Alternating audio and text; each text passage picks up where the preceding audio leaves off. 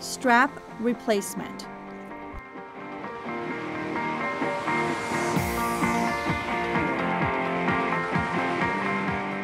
Please go to the back side of the strap. You will see that it is tightened to the forearm by a Phillips screw and a little retainer. Loosen the screw by using a small Phillips screwdriver. Turn the little screw counterclockwise while you block the retainer with a small flat screwdriver.